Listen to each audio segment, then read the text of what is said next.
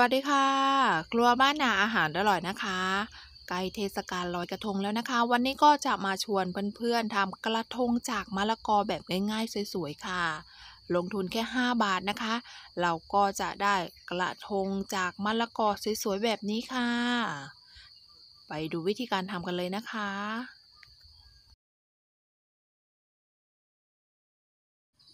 สำหรับขั้นตอนแรกนะคะ พอเราได้ต้นกล้วยมาแล้วนะคะ เราก็จะนำมาห่อด้วยใบตองค่ะ เพื่อความสวยงามนะคะ เพื่อนๆจะห่อแบบไหนก็ได้ค่ะ แล้วแต่ความถนัดเลยนะคะ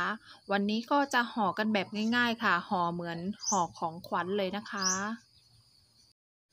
สำหรับการทำกระทงมะละกอวันนี้ค่ะ เราลงทุนซื้อแค่ทูบกับเทียน 5 บาทเท่านั้นเองนะคะ ส่วนต้นกล้วยมะละกอของเราก็ปลูกเองที่บ้านค่ะ นี่นะคะเราก็ห่อกันแบบง่าย ๆค่ะ จากนั้นเราก็จะนำไม้มากลัดให้อยู่นะคะสำหรับไม้วันนี้ใช้เป็นไม้ก้านมะพร้าวค่ะ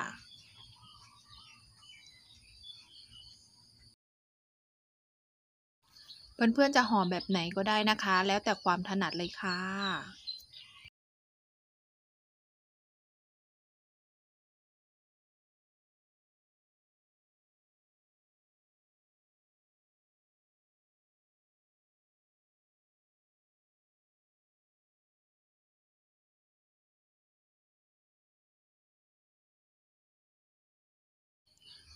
จากนั้นใช้กรรไกรตัดออกนะคะ เพื่อความสวยงามค่ะ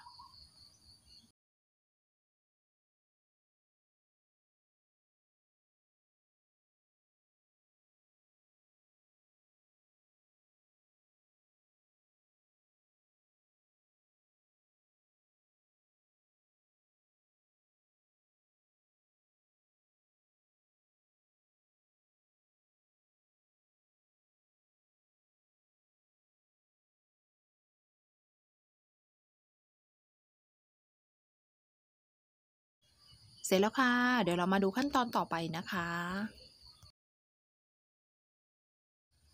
สำหรับขั้นตอนนี้นะคะ เราก็จะนำแครอทที่เหลือจากทำกับข้าวนำมาใช้ให้เป็นประโยชน์นะคะนำมาผ่าครึ่ง แล้วก็ผ่าอีกรอบหนึ่งนะคะทำชิ้นที่ไม่หนาจนเกินไป ไม่บางจนเกินไป จากนั้นซอยให้เป็นเส้นๆแบบนี้นะคะ แล้วก็หั่นให้เป็นชิ้นลูกเต๋าเล็กๆแบบนี้ค่ะ ต่อไปเราก็จะนำไม้กลัดนะคะ มาเสียบกับแครอทค่ะ ก็จะได้ประมาณนี้นะคะ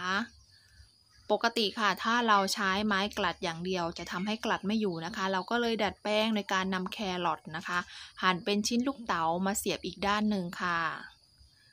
ที่สำคัญนะคะ ก็เป็นการตกแต่งกระทงของเราให้สวยงามด้วยนะคะ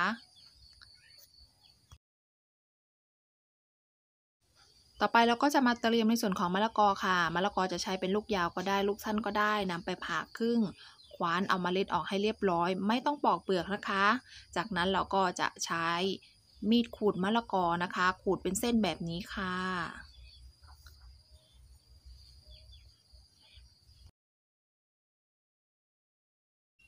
เดี๋ยวเรามาลงมือทำกันเลยค่ะ ขั้นตอนแรกนำมะละกอมาพับ แบ่งครึ่งเป็น 2 ส่วน จากนั้นก็พับเป็นรูปสามเหลี่ยมนะคะ จะซ้ายทับขวาหรือขวาทับซ้ายก็ได้ แต่ว่าด้านสีเขียวต้องหันไปในทิศทางเดียวกัน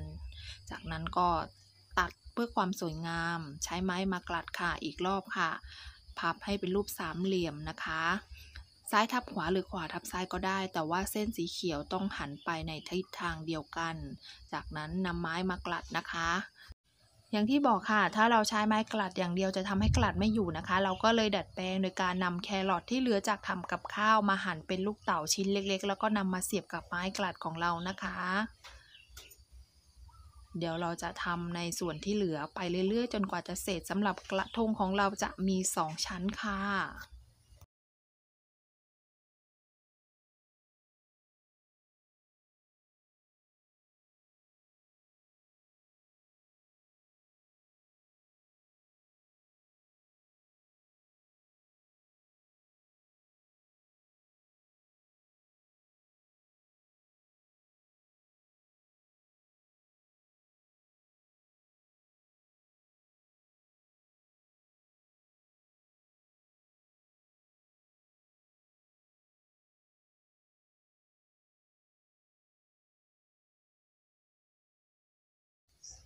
สำหรับชั้นแรกของเราก็เสร็จแล้วนะคะ ต่อไปเราก็จะมาทำชั้นที่ 2 กันค่ะ ชั้นที่ 2 ก็ทำเหมือนกันเลยนะคะนำเส้นมะละกอมาตัดแบ่งครึ่งเป็น 2 ส่วน จากนั้นก็พับเป็นรูปสามเหลี่ยม จะซ้ายทับขวาหรือขวาทับซ้ายก็ได้ ถ้ายาวไปเราก็ตัดออกนะคะสำหรับชั้นนี้ค่ะเราก็จะหงายหน้าขึ้นมาแบบนี้ค่ะนำไม้มากลัดให้อยู่นะคะ พับให้เป็นรูปสามเหลี่ยมจะขวาทับซ้ายก็ได้หรือซ้ายทับขวาก็ได้ ถ้ายาวไปก็ตัดออกนำไม้มากลัดให้อยู่ค่ะ เดี๋ยวเราจะทำต่อไปเรื่อยๆ จนกว่าจะเสร็จนะคะ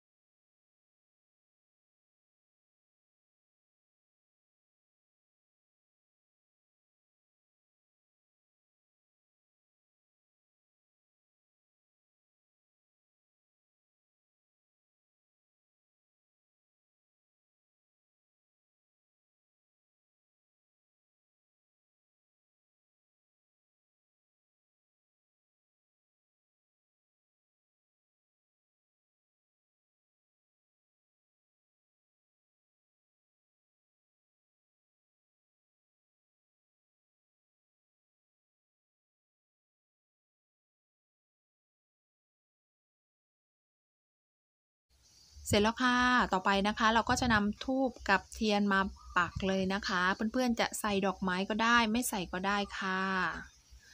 ก็เป็นเสร็จเรียบร้อยนะคะสำหรับวิธีการทำกระทงจากมะละกอแบบง่ายๆสวยๆเพื่อนๆ ก็ลองไปทำดูนะคะ หากคลิปนี้มีประโยชน์อย่าลืมกดไลค์ กดแชร์ กดติดตามให้ด้วยนะคะสำหรับวันนี้ครัวบ้านนาอาหารอร่อยต้องลาไปก่อนเดี๋ยวเจอกันคลิปหน้า สวัสดีค่ะ